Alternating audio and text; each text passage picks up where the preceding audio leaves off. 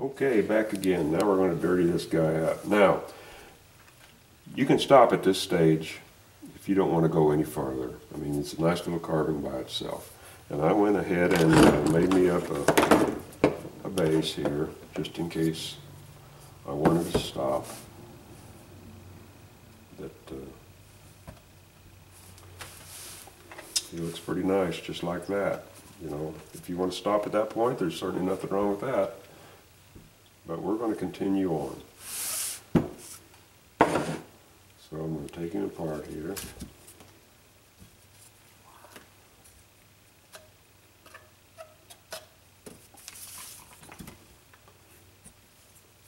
I'm going to do the body first because I don't want to mess with that head until I know what I'm doing. I haven't, ev- I've never done this before, so this is going to Don't you think you ought to move the head be an experience for both of us.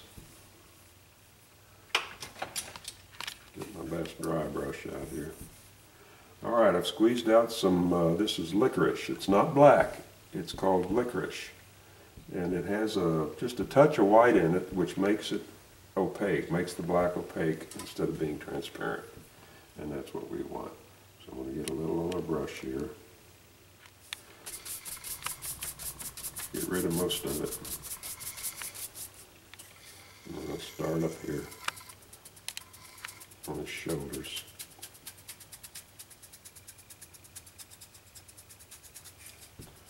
Because he's probably crabbing around down in there. Whoops, don't want any water.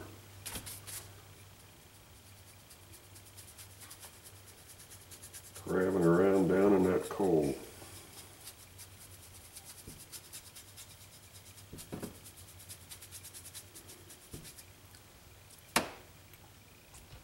a little on my finger here. And we're just going to kind of spread it around.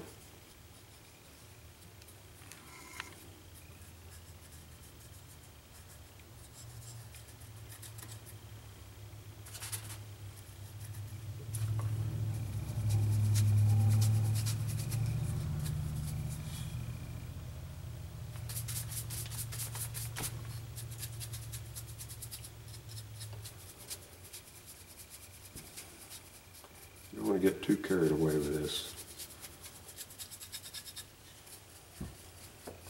You just want him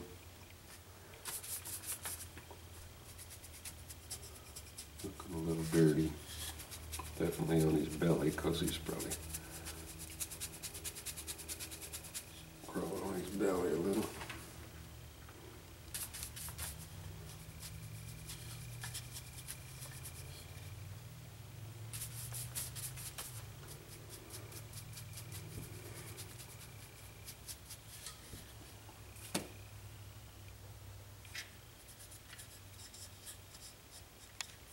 Tell him you stuck your finger in the water. What? What? Didn't see him. I didn't show you sticking your finger in the water. I'm using my favorite brush here, putting it in the water just a tad. And what's that doing is it's softening up that paint that we put on there. Allowing you to move it forward.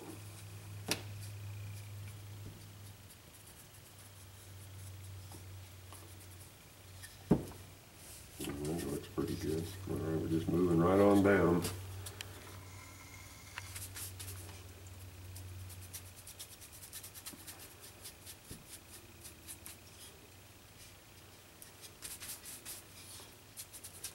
Definitely on his bottom.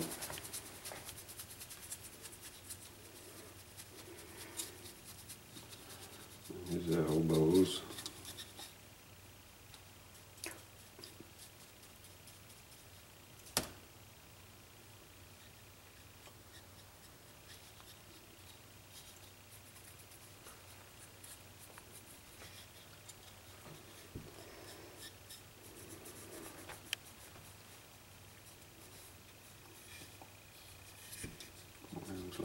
Doing. Not so much back here because that's probably uh, hardly ever exposed to anything unless he was laying on his back. But uh, I seriously doubt if they did much laying on their back down there. The foreman would probably jump all over. So we'll just work our way on down. starting down here where, where we know there's gonna have a lot of wear.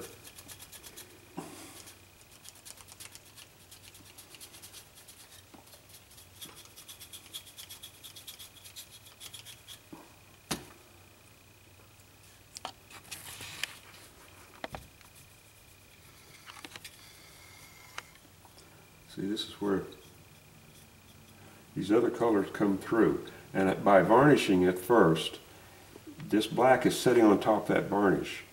It's not going down into the wood like the paint did when we painted him wet before. So we can control it. If we get too much on there, we can come back and, you know, some of it's gonna be there, but some, most of it will be, uh,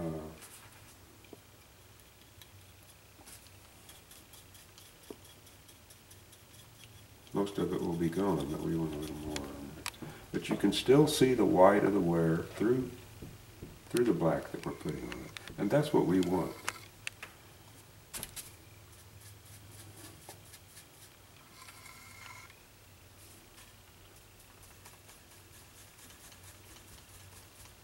Put a little bit on this side of his fence. Around his pockets.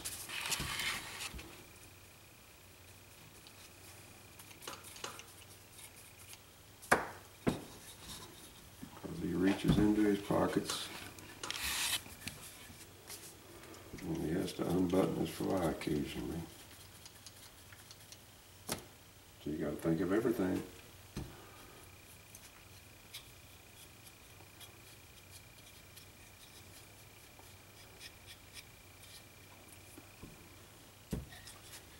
Messy here.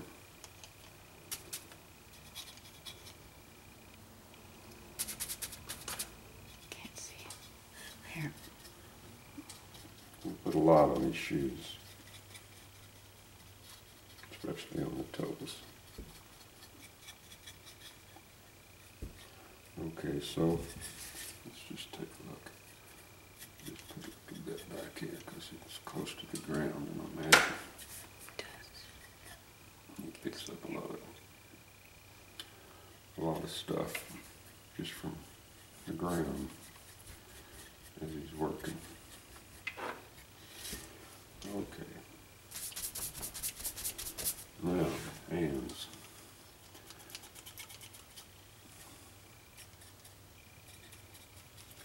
Have to be a little careful here because we don't want too much.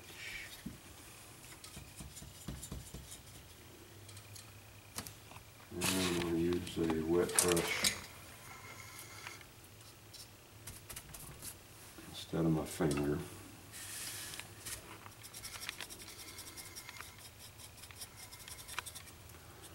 So I can get down into the grooves of that. hand.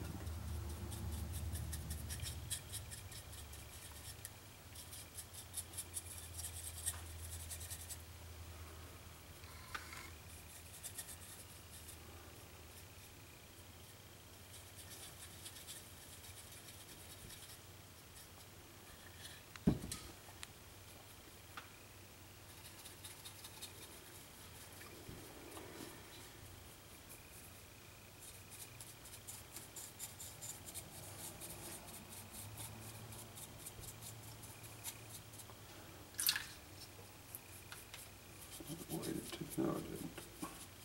Thought I waited a little too long for the ribbon.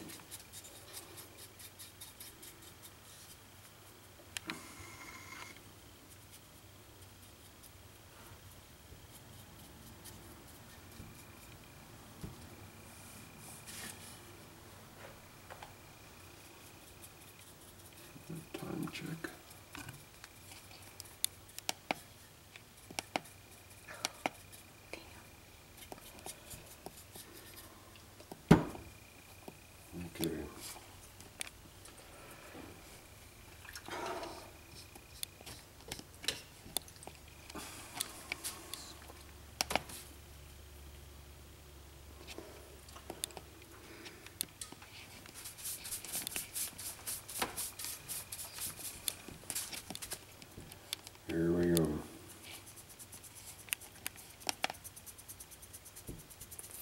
stop. It says it's recording, but. Stop it.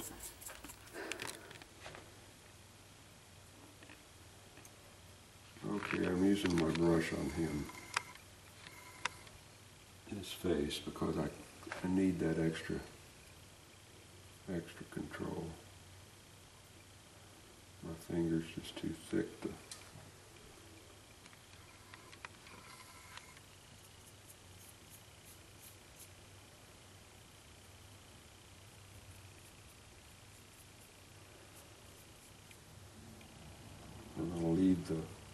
forehead underneath his hat pretty clear of the cold.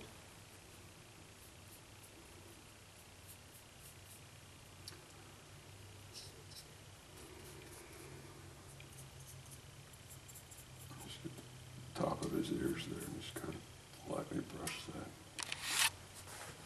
That looks pretty good. Now we'll go back to this brush.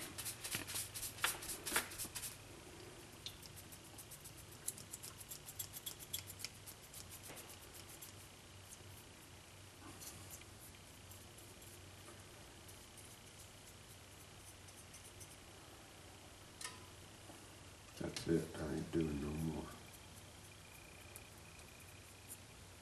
Let's just see what we got here. Well, he's certainly a dirty guy, isn't he? We got something.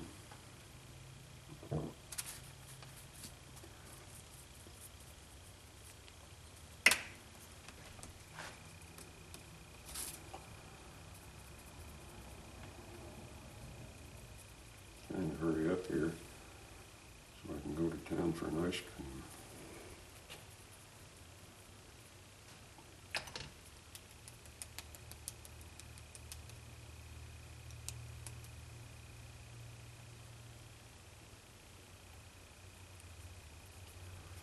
A little dirt here around where the wind's drilling. That's good. Okay, so let that go. We'll let him dry, and then I'm going to give him another coat of uh, polyurethane satin finish, and he will be done. And then uh, I don't know if I'll come back with another video. Probably not. I'll just come back with a blog post, and we'll sort of round it out about where we're going to go from here. Okay? So until next time, I'll talk to you later. I'm going to wash my hands.